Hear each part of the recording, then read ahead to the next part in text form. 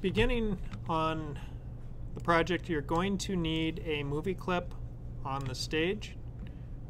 This movie clip that I have tonight, Bob, we can see it's Bob, is an animated movie clip, so he has this very active body shape while his eyes remain fixed, giving us this kind of appearance. Otherwise, there's nothing too fancy about Bob right now. That is step one, is to have an object that we will be able to move with the keyboard controls. So working with this, you have on the side of the screen, you will have code snippets. This is where there are basic actions that can do a variety of different things.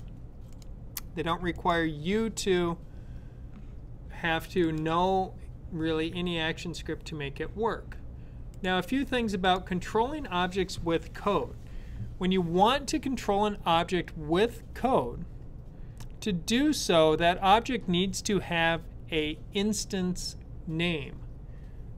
Because right now if I look in my library, here's Bob, and I can have multiple instances. These are all instances of my Bob symbol. But if I want to tell Flash to control one of these, so I press keyboard arrows to make one of these Bobs move around on the screen, it doesn't know which one I mean. So I have to give them a name so that Flash will go, oh, that's the one you're talking about. That's the one you want to move and control. So to do that, I have to click on my object. And in the property panel, you'll see at the top when the object is selected, I have an option for an instance name. It's an instance of the Bob symbol in my case. And your symbol can be named whatever you named yours. But mine is an instance of Bob. So in this case, I can now type in an instance name. Now, that does require us to adhere to a few restrictions on our names. We cannot begin our name with a number. We are not allowed to use any funny special characters. And we're not allowed to use spaces in our instance names. So we're not allowed spaces, funky characters, or anything else.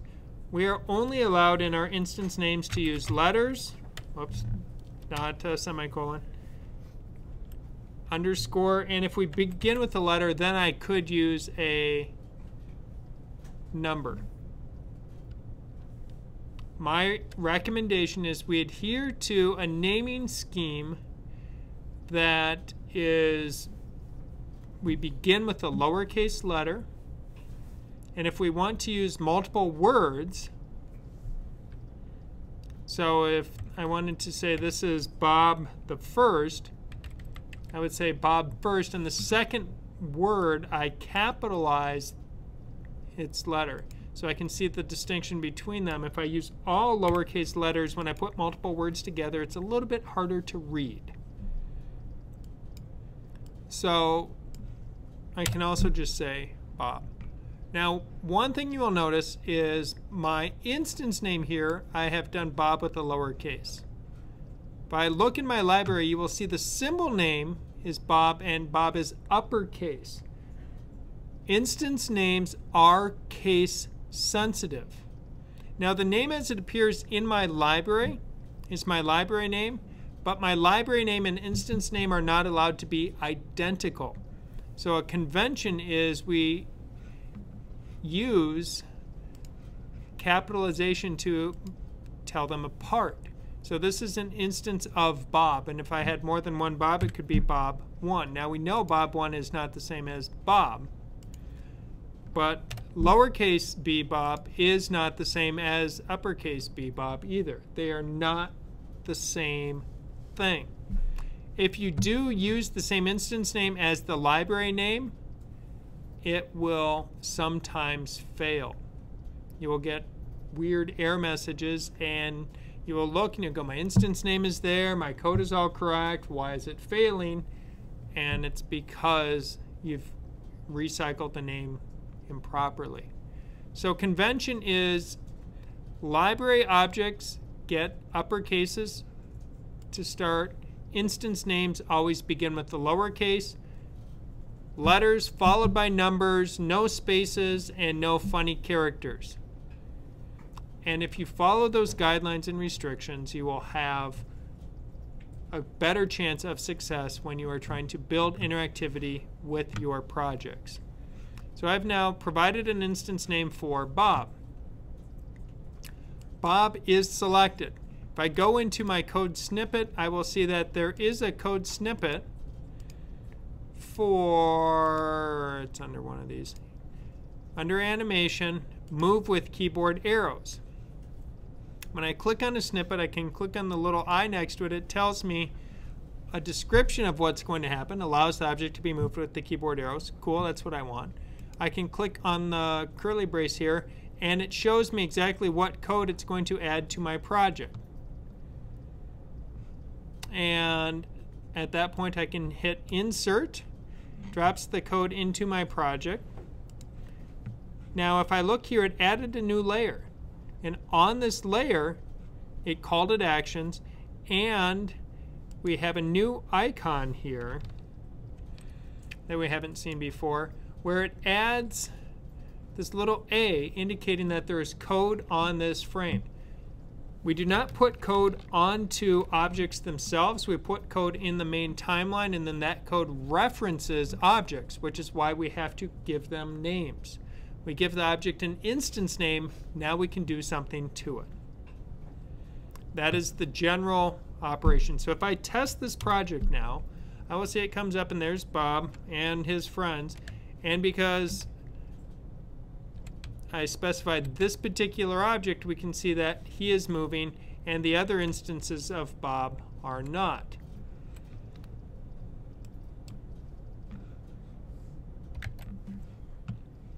when you get an error in your coding, which will happen to all of you at some point, it shows up in your compiler errors window down at the bottom of the screen. And when you see those errors, you can double click on an error and it will bring you to that particular line of code where Flash believes it ran into the problem. Most of the time it's pretty close, but sometimes it brings you to a line, even though that's not the problem line, but something else has occurred that's making it think that's the problem line. So it, it it's better than it used to be where it just gave you random code numbers where it would say error number 2009 and you'd have to go google online. What's that mean? And then you'd have to try and figure out how to fit that in and you have no idea what line number it may or may not have occurred on. So if i double click it pulls up the actions panel. When i see the actions panel here we can see here's the code that we'll be working with in a little bit and over here, this is some of the library that we have access to. I'm going to recommend when you pull up the action panel that you close that left-hand side because we don't need it for what we're doing. I also recommend you make this window a little bit bigger so that you can see more lines of code at a given time. That will make everything a little bit easier. Now, if you don't have any error messages, so your error message window is clean, and you're like, I need to pull up my code, you can't just go into your timeline and double click, nothing happens. You can go under your window pull down menu and choose actions. You'll also notice that on the Mac it says option F9 next to your actions palette. If you are in Windows, it's just a straight F9 to pull it up, but on Mac, it's Option F9. So when I select that, it pulls up my Actions window. And if you want to, you can dock this on your display, so you can dock it somewhere to make it easier so then it can show and hide depending on how you want to customize your user interface. So this is the code that Adobe just added to my project using the snippets. Now, as part of the demonstration, I've added it at two separate times to two separate objects. So I added it to Bob and to Bob 2. But because we have duplications of a number of things going on, it's causing error messages, which is making it grumpy at the moment. But I, I think we might be able to clean out those lines there. And now when I press the keys, it will work because the problem it was running into is it had it defined the same variable, the same item that we're storing a point of memory in twice, And in the act of doing so, it caused it to get confused. You can't create the same variable twice. Once you create a variable, you can't create that same named variable. So now we have these objects moving. Both objects, Bob and Bob2, are animating. Looking at the code here that Adobe put in, we'll just analyze the code for Bob. With the code, all of the snippets that Adobe puts in, it gives you comments in it. When we see in the action script, you will see lines that are gray. Those are commented out lines. Those are instructions. I encourage you while you are writing your own code, which you will be doing tonight because we'll be taking the code Adobe wrote and deleting it and starting over and writing our own code because it's better that way. It also helps to reinforce some of the learning that we need to happen. And I also don't like how they've named different things in it. So we could use find and replace and change a bunch of names, but it's easier. We'll just do it ourselves. Now, looking at this, we'll see that there's not a lot of comments that Adobe has put into this particular snippet. Some snippets are going to be filled with tons of comments as part of it. But the comments are in gray. We either use the block comment using the slash and the star ending with the star and a slash. Uh, another way to put in a comment is two slashes and then you can type this is a comment. And now that allows you to put a comment into your code. So you can put comments on their own lines. We can also put a comment next to it and say something like move Bob up. So you can put a comment at the end of a line using two slashes and then move Bob up. So I encourage you when you are first learning how to do this to put comments in all over through your code. Comments don't impair performance. All they do is make the code more readable for you down the line. So the more comments you put in, that means a week from now, two weeks from now, a month from now, you're not staring at the code going, what'd that line do again? When you put it in, and intentionally put it in, put in comments. It will help you. I do that to my own code when I'm learning new concepts. I put comments at the end of every line saying, this does this, this does that, and try and put in those reminders so that when I look at it later, I'm not stuck trying to figure it out. So with that, we're going to go through and create, recreate what this does ourselves using names that I think are a little bit easier to understand and make a little bit more sense as part of it. But essentially, the short version of what's going on here is we have three actions taking place. One is specifying to move our character. One is specifying to take care of pressing a key, key pressed, and one is unkey pressing or releasing a key. So we're taking care of these three different situations and then making certain things that we need to have happen with the computer occur so that we can make our artwork come to life. And that's really what it's all about. So at this point, I'm going to highlight everything Adobe gave me and hit delete because I don't want it. I am going to make my own. And we're going to start out and just work on making our character, our item, be able to move left, and right. But we're going to produce it ourselves because it may have looked like a lot, but then once you see it broken down, you'll realize it's not so bad. Now, working with Flash, it's an event-driven language. It listens for events to occur and it responds to those events. That's really the nature of most of the coding that you will do in Flash is you will be writing listeners to say, hey, listen for this, listen for this mouse movement, listen for this key press, listen for a mouse click, listen for a score to hit a certain amount. So you set all of these listeners of what you want to have happen, what is the event. And then you specify the action that you want to take place. And those actions are written as what's referred to as a function within Flash. Now, sometimes we need to keep track of certain things, such as which key I have pressed, and want to know that kind of information and we need to know which key is being pressed and which key then is not being pressed anymore or is being released. So we're going to track those kinds of pieces of data. So what we're first going to do is before we make our creatures or characters, your Bob, start reanimating around on the screen is we're going to capture that keyboard press and release so that we can make sense out of what is going on. Now with that, we need to understand that each key on the keyboard has a specific character. So we can see when I type, it puts letters on screen because the core operating system on the computer knows when it registers that key press, it should display that particular character. So it's written by the person who programmed the operating system and programmed, then in this case, Flash. So we're going to be listening for those keystrokes so that when they occur within your interactive project, that something can now occur. So what we need to do is we need to tell our movie to listen for that key to be pressed and listen for that key to be released. So we'll start out with the pressed first.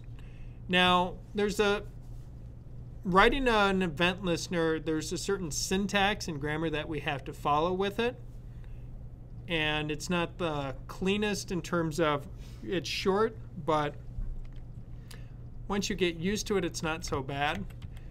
So what we're going to do is we're going to ask our stage. Now the stage is our movie itself. So when we talk about stage in code, you're referring to the whole of the movie. So it's our main object that's going on. And key presses and key releases are registered with the stage. We don't assign them to an object because we could tell, hey Bob, you know, why don't you listen for this or why don't you listen for that? We could, but it with key presses, they're picked up by the stage. They're not picked up by objects. Now, when we press a key, as we saw, we can then tell an object to do something, but the key press itself is not picked up by the object. So we say stage. We tell it to add an event listener.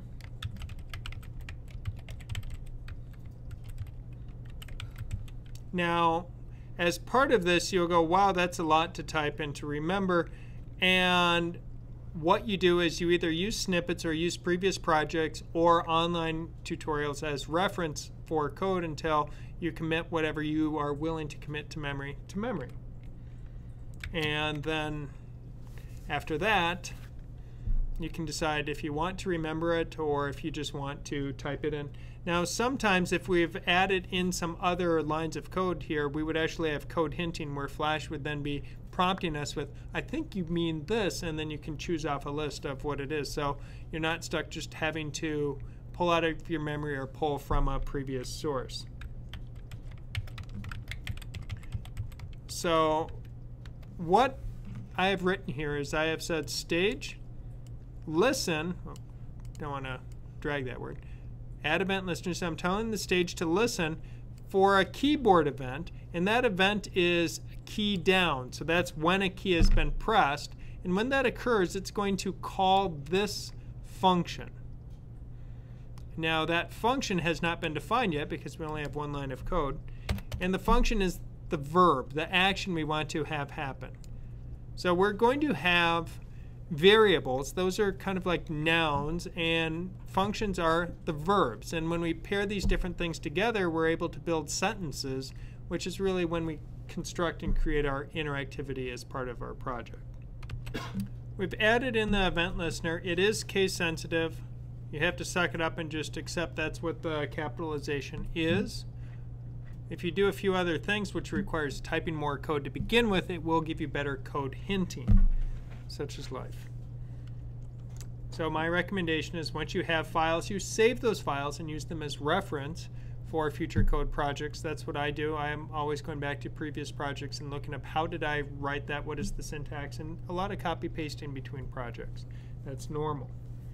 So now what I'm going to do is I'm going to define the function that is called here, key is pressed. So to define a function, this action that we want to occur, we can just simply say the word function, and it turns a nice beautiful shade of purple. And then we type in the name of our function as we have named it. Key is pressed. And capitalization will matter. Now if you find that that's too much typing for you, sometimes you could shorten it your names of your variables of your functions to just single letters or a couple letters like K KD for key down, KU for key up, and things like that. But I find that, especially in the beginning, using a little more verbosity, longer words in your names, makes things a little bit more readable with the code. I fought that for years and years and tried to make all of my names as short as possible because I was lazy. But I find my code is infinitely more readable and understandable if I use longer names. So I've gotten over that kind of phobia of typing long, short name or phobia of long names and I'm finding my code is just a lot easier to use. Now when we define a function, functions, we use the word function, the name of the function, then we put parentheses after it. But when a function that we're calling is associated with an event, and this is the keyboard event of key down, so when it's associated with that, we have to put a little uh, bit of code inside the parentheses. And this is again just part of the required syntax. And if you studied the Adobe code, you would see that it did have everything that we're typing here. We're just going to use what I think is a little cleaner naming scheme. So we use E, and that's going to give us an ability to reference this event, which is something we will need to do in our code. And then we do it, put a colon, and then you specify what kind of event. And now you see code hinting appearing, and if I use the down arrows, I can cycle and up arrow I can cycle through. And the event that I specify in these parentheses matches what my event listener was. My event listener said keyboard event, so here I say keyboard event. And if it's highlighted here, then I can hit return on the keyboard and it inserts it. You will notice now it's added a little line up top, import flash events keyboard event.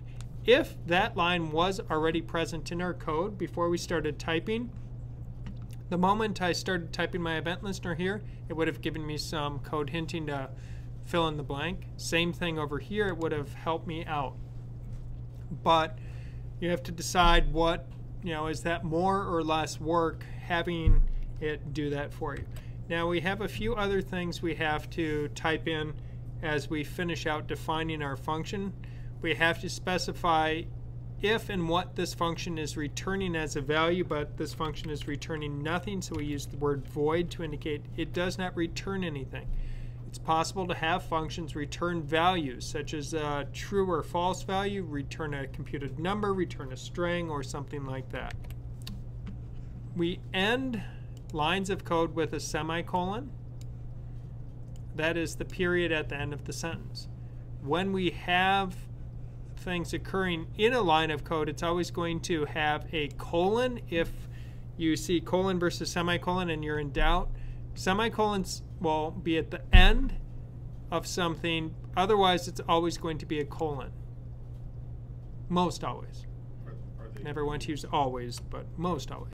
So the white space between lines of text here. So if I get rid of the extra returns like that, getting rid of the line, the white space, that makes my code more compact, but it makes it harder to read. But Flash accepts extra line space, so you can put an extra line space if you want while you're working. That's fine. That doesn't have any bearing on performance.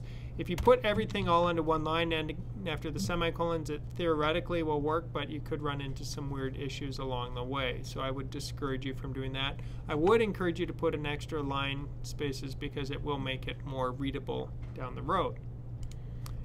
So now in this function, I want to know what key has been pressed. Now, we can do this by sending a message to ourselves. And Flash has a feature that will send out a message to the output window. And we can specify the word trace you pressed the, and then we're going to put a plus to say, then add to this, and then I will say E dot key code. And you can see code hinting was helping me out there. Semicolon, it's the end of a line. So what this will do is this will send me a message. Now, if you work in JavaScript, you would use console.log. If you work in Python or processing, you would use print line. Java print line. So we use different commands that will send these messages to us that give us information. So if I take my project here, it's a good idea while you're working to save regularly. You never know when Flash will go belly up.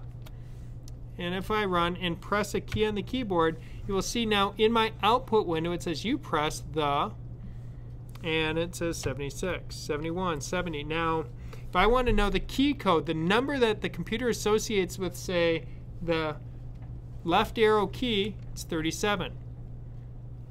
The right arrow key is 39 up arrow key is 38, down arrow key is 40. So working clockwise, starting with the left arrow key, it's 37, 38, 39, and 40 to give me my four arrow keys. If I wanted to build a game that utilized the keys WASD, which are common keyboard controls for keyboard or browser-based games, the A key is 65, the W key is 87, the D key is 68, and the S key is 83. So if I wanted to know the number the key computer is generating when I press a specific key, that is the key code. So I can now trace this message out because periodically if you go a long stretch without accessing the key codes on the computer, you may not remember what they are, but you want to use them in your project. So you can just send yourself a simple trace message to go, oh, that's what the keys are, without having to say do a Google search or something like that. Empower yourself. Don't always rely on Google. To make Bob move around the screen, and if you named your uh, object something other than Bob at some point, then we will, you might need to modify your code accordingly. So my character on the stage that I am going to animate is Bob. So with that, when I press this key, a real easy thing I could do is when I press the key, I could just simply say Bob, and I want to modify your X position, and I'm going to move you over. So does anyone know what position Bob is on screen right now, what his X position might be? I have no idea. Do we actually need to know? What do you think? Do you think we need to know where he is? Where he is? Yeah, do we need to know his X and Y coordinates yet? No, I don't think so. Yeah, we really don't. Because Bob is here. Here's Bob. And he does have a position. He's at 248 and 166.75. So that's where he's at. No, I just moved him again. But I don't really care where he's at. All I want to do is just add a certain value to his position. So I don't have to know what he's currently at. And now keep in mind that the coordinate system 0, 0 is top left, and then 550 by 400 is bottom right. So x is getting bigger, moves to the right. X is or y is getting bigger, moves down. So 0, 0 is here, and then numbers get bigger as we go right and down. That's important to keep in mind as we build interactivity. So when I go into the code, I can say, Bob, I want to set your x equal to whatever your current x is, and I'm going to add 5 to that. So I'm going to add 5 to where you are. Now you will notice that I put some extra spaces in here as part of my workflow. So I'm adding in some spaces to make it more readable to you. If you don't put these extra spaces in, the white space, it will work just fine, but I find that when I'm trying to do code for other people to read, I put the spaces in. When I'm doing code for myself, I don't put the spaces in because that's extra typing. So you don't need these spaces. You could have it very tight.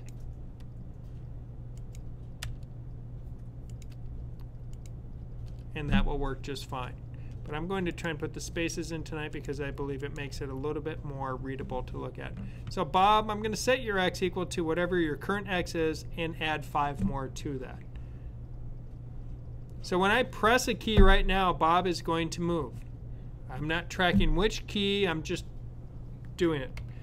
One thing that you will want to do when you are coding is you will want to do it, get something working, then add in more complexity. Because right now I could check and go, hey, well, did I press this key or that key? And then I want, well, first, why don't I verify I can make a move? Once I know I can make a move, then I can start assigning that movement to a specific key. So baby steps, tiny little things, one at a time, versus here's all the stuff I want to do, and I try and put it all in, and it totally breaks, and I have no idea where it's broken. You can uh, take that approach, but most people don't have good luck with it. So now if I press a key on the keyboard, it doesn't matter which key, we can see that Bob is moving over. And if I keep pressing, there we go. And it's registering off of the press of the key. All right. So Bob moved. But I think I would rather tie Bob's movement. So if he's going to move to the right, I want to press the right arrow key. So to move him to the right, what we need to do is say if, and I'm going to write it out in plain language first, then put it into proper code speak. So if the key pressed is right arrow, then Let's move Bob over. So that's the plain language version of what we're going to try and do. So if the key pressed is right arrow, then move box, Bob to the right. I'll just finish the whole sentence and comment that out. Move Bob to the right five pixels. That's what that line says. Now I can leave that in there as a comment and I can comment a line of code out. Let's see, no, wrong program, can't use that shortcut. Two slashes, that comments that line out. Now, we can say if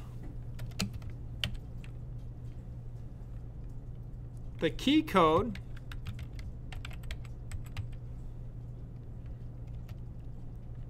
is equal to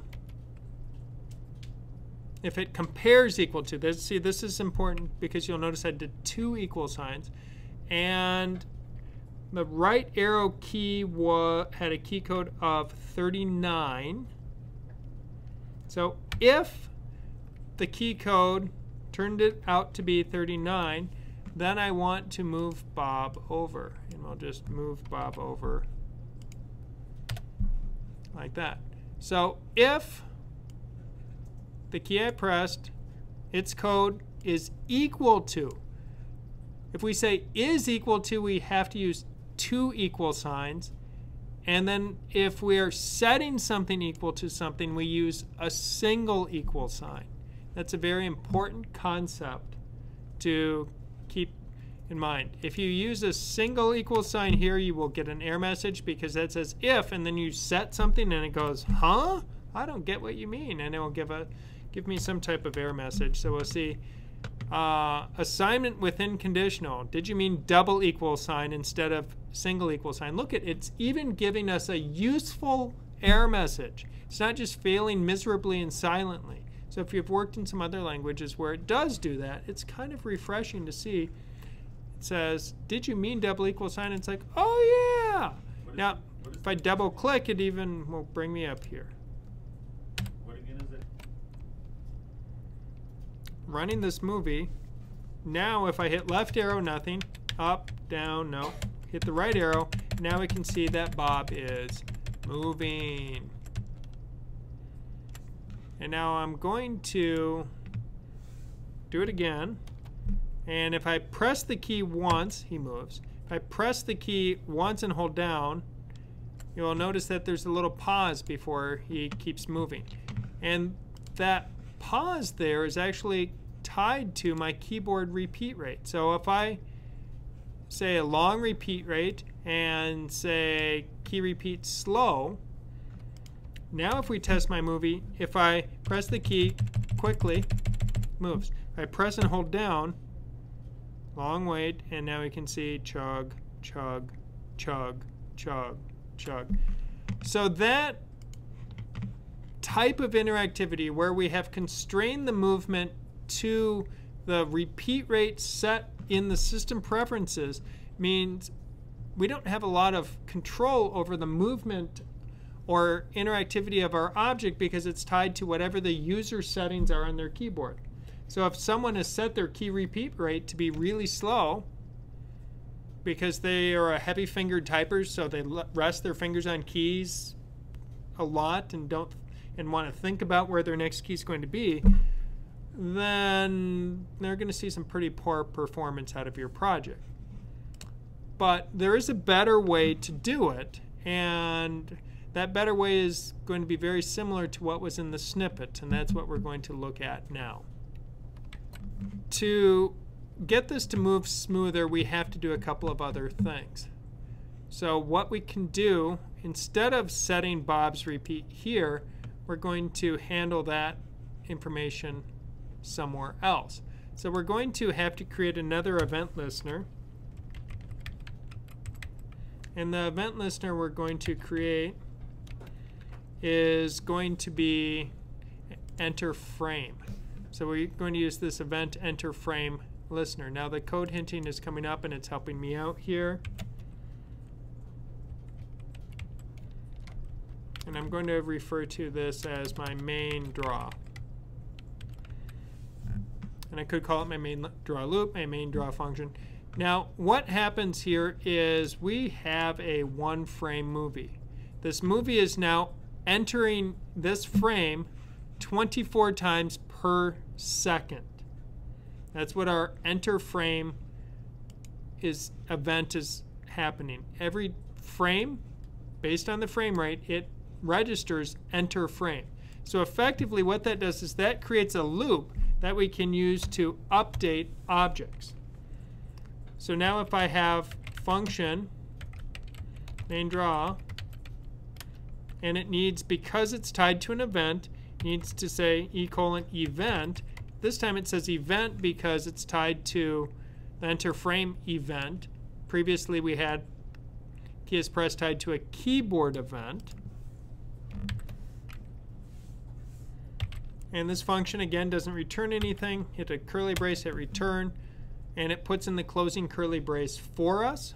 Very handy feature because it's very annoying that when you put an opening curly brace and forget your closing curly brace and don't match things, then it fails and then it gets grumpy, error messages, you rip your hair out, cry in the corner. It's not pretty. So our main draw loop, even just pulling uh, I'm just going to pull my uh, X update line from that.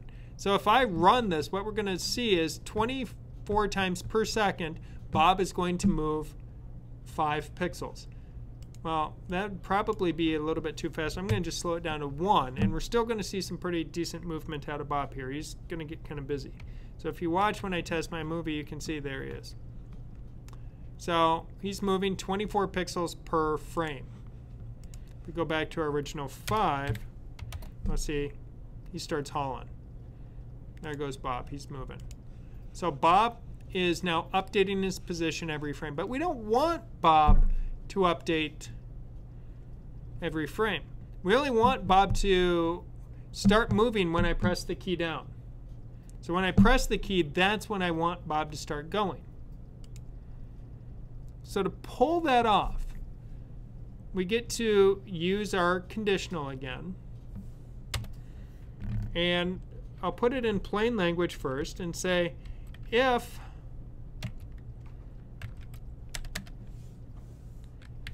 right arrow, I'll just say if right is being pressed, then move Bob.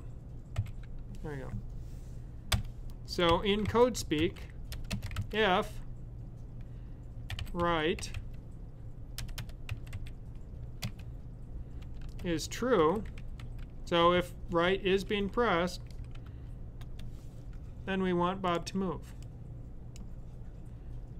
So you may be thinking, it's like, wait, he just typed in the word right as if it just exists. And wouldn't it be nice if we just had a property of right that we could say, yeah, when right is true, I want that to go. And what we could even say is, when we press that key, I want to set right equal to true. So when I press my right arrow, I want right to be true. So if we just make that statement and run our project right now, we're going to get a big flaming error message and it will scold us. Because we're using something that hasn't been defined yet. So if I run this, we'll see it scolded me. It says, access of undefined property right. So it's going, yeah, you're asking for this right thing, but you never told me what it is. But that's an easy thing to remedy. We can define it. We can just simply say, sorry, forgot a capital letter there.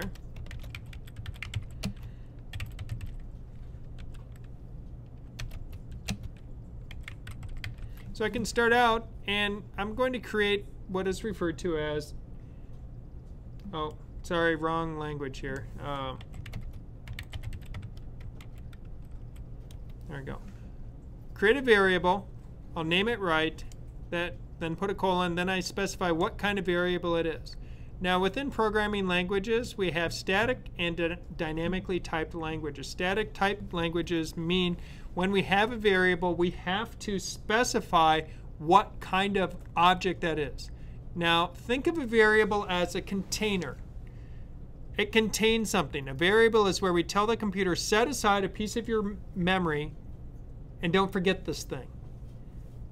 And we have to say what kind of memory to set aside. So we say var for variable, the name we want. Notice everything that we're creating shows up in black. var right, and it's a boolean, meaning it has two values, true and false. There are different kinds of variables we have access to. We have numbers and integers and strings and characters and booleans and movie clips and sprites and just all kinds of really fun-filled objects. This variable is a boolean. It has two values. It's either true or it's false, which works really well in computer languages because computers operate on ones and zeros, trues and false, on or off. So it's really kind of nice to, if you right your logic to either be something true or something false, it works pretty well. So var right colon boolean equals false. So we start out, write isn't true, I'm not pressing the key. So when I start my project here, I'm not pressing the key, Bob is parked, he's not moving. If I hit the right arrow key, we'll see Bob starts going. But if you notice, I press the key once, and he kept going and kept going. So I press key down, sets right equal to true, Bob takes off. Boom, there goes Bob, he's gone. He's gonna go until the cows come home. So I have no way to make right become false and stop Bob from moving. To make right become false, I'm going to effectively just duplicate a lot of the code that I already have here. One thing you'll find when you are coding, a lot of it, it looks scary when you read the code and then you realize it's highly repetitive. Computers don't care about doing the same thing over and over and over. People do. So there are more optimized ways you can do things that cut down on some of the repetition, but in the beginning, don't run from it. Don't be scared of it. Don't be intimidated by it. Just accept it, and it's okay. So I'm going to copy that put a copy of it. And now we have is pressed. So I think an appropriate name would be is released. So key is pressed, key is released. Instead of being a key down event, it's going to be a key up event. So I deleted key down in the period, retyped the period, and now code hinting is even helping me out. It goes, oh, I bet you want that. And it's like, yes, of course I do. You're awesome, Flash. Thank you. And now I can duplicate my key is pressed function and have a key is released function. Now one thing to remember, currently now I have key is pressed appearing twice here. If I run this, I will get an error message and it will say duplicate function definition. That's because I tried to define key is pressed twice.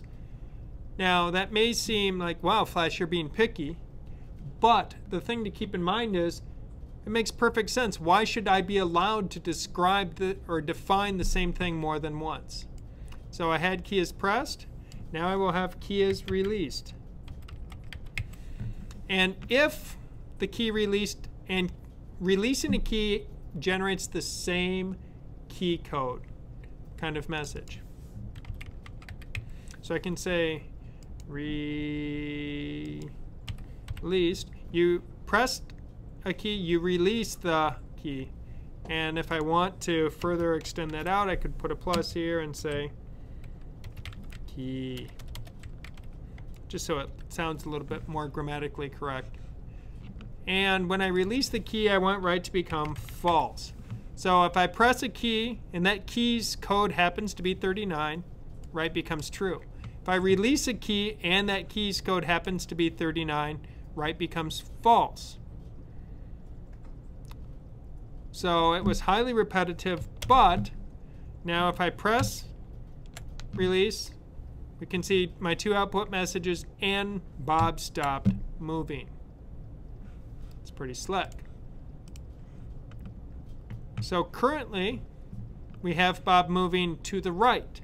To move Bob to the left means we're going to need a few more things that are just going to be repeats of what's already there. So we can repeat our Boolean and now have a right and we could have a left one. Now inside our main draw function,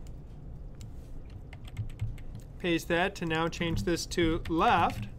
So when left is true, I want to set Bob's x is equal to, and now moving left is about subtracting an, a value versus adding a value. Moving to the right adds a value, moving to the left subtracts a value. And now I just go into my key pressed and key release functions and just do a little copy pasting. I'm just going to put some extra returns at the bottom so I can have my code higher on the screen to make it easier to read. So the right arrow key has a key code of 39, up arrow is 38, left arrow is 37. So I can just now change that to a 37, but not 337. And that would be left is equal to true. And then I have to remember to do my key release.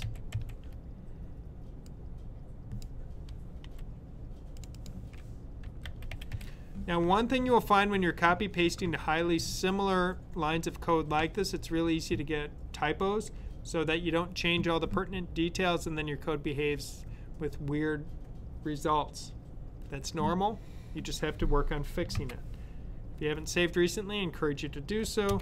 And now if I run this, I can move to the left and to the right. And my movement is not based on my key repeat rate and we can see it's based on these numbers that I have here of plus 5 and minus 5. If I want him to go faster, I can change that value, change it to 10, and we'll see that he really starts hauling, working his way across.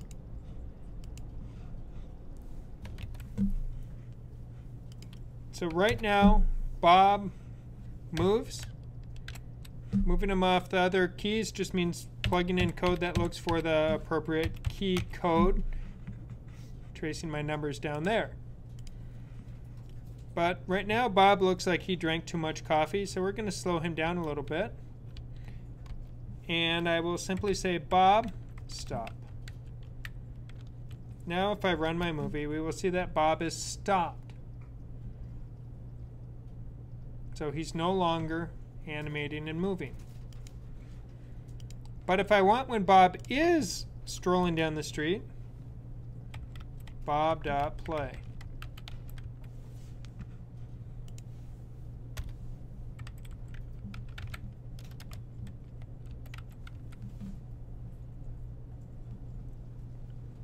So we can tell Bob to play when he's moving. So he's parked, and then I move, and now he's moving. But if you notice, we never then retold Bob to stop.